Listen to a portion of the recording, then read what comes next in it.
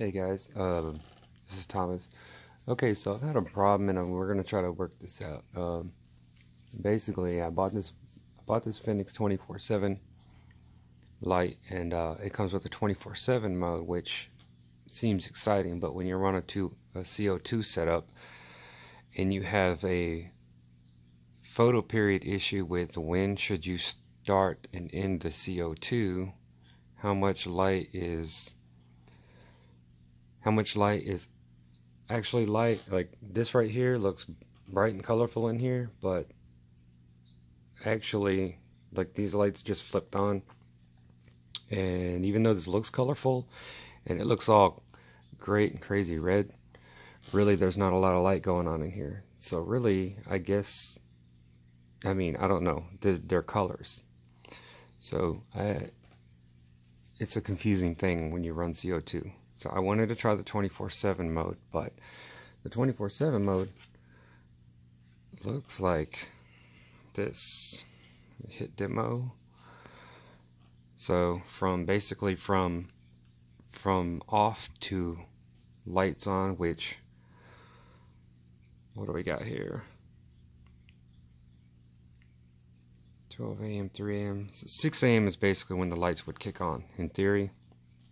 So it would look like this 6 a.m. And then by the time it gets to noon, it's bright white. Like my tank usually looks just bright white because I always have the Fluval in the back running too. Then it'll go to the sunset. Then it'll get a little more red and blue, then a little more blue, and then it'll fade to off. And really, it's only off for it's only off for about maybe three um, three, four hours. Let me turn the demo back off. This thing is okay. Here's my 24/7 mode. I didn't program my own. I used the regular 24/7 mode. However, all I did was all I did was worked it out. So okay, before the headlights were on straight timers and no intensity changes throughout. So my CO2 was 1 to 9.30. That's 8.5 hours. That's 3 hours before photo period. So my um, lights, both of them, on the same timer, the Finnex 24-7 and the Fluval Aqua Sky in the background, which you can see which the little things are on back there. My little rack, that's the Fluval light. That Fluval light stays on max. and, okay, so we had 4 p.m. to midnight, which is 8 hours. That was, this was my photo period. I had started off lower and slowly ramped it up week by week. And the CO2, I tweaked and tried different things and in, basically ended up with 3 hours before. It clicked on 3 hours before the lights and then it clicked off 8.5 two and a half hours before lights and the drop checker stays perfect lime green the whole time now this is what's going to throw things off because I'm trying the Finnex 24-7 mode 24-7 mode starting with 4 a.m. the lights are off now here at 7 a.m. is when the lights basically come on so 7 a.m. right around here they fade on and then well, it's 8 o'clock. It's 8 in the morning right now, so this is going between the 7 and 10 o'clock setting. So 10 o'clock is like sunrise. It's to ramp up slowly. So it goes from off and a slow ramp up until so 1 p.m. is bright bright 4 p.m. is pretty bright with a little more this is really bright white this is kind of like the blue fading in bright and then it goes down. So basically the six hour bright photo period is somewhere between here and here between near the one to right past the four. That's the brightest photo period on this 24-7 um, mode. And then it starts to kind of go down into our sunset mode which looks a little more like this down to from 7 to 10 towards 1 a.m. where it ramps down until 4 a.m. it's off again. So basically, during the max bright white, during the max bright white, I will be running the Fluval in the background. If I can get this to, why is it not turning on? Oh, because it's on the timer.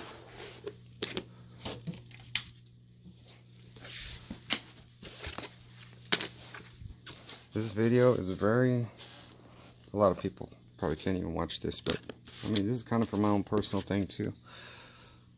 So sorry about all of everything, whatever. So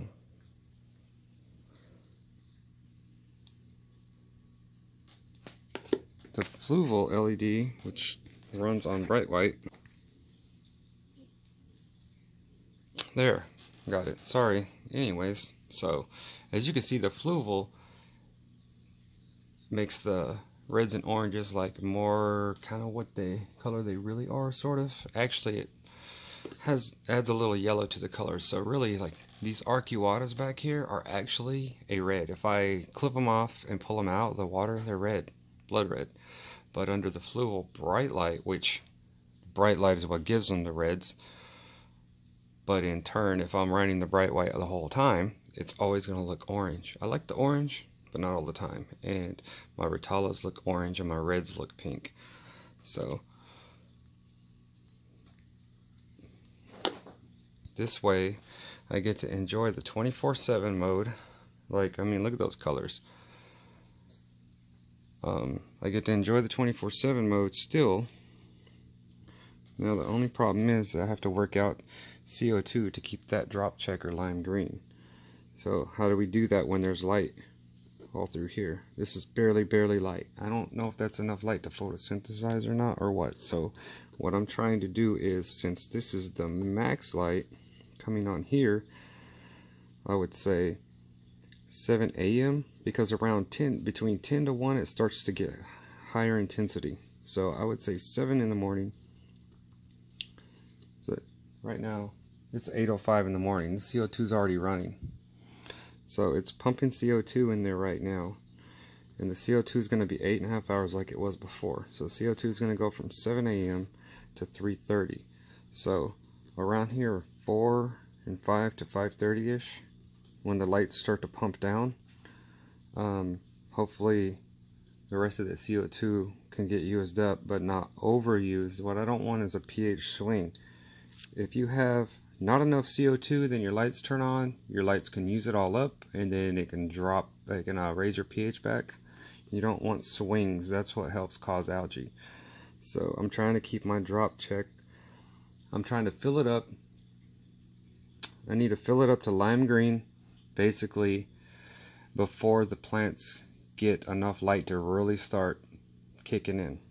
The plants need to ramp up. Plants do ramp up plants start off and then they ramp up. That's why leaves start up. You see the Rotalas?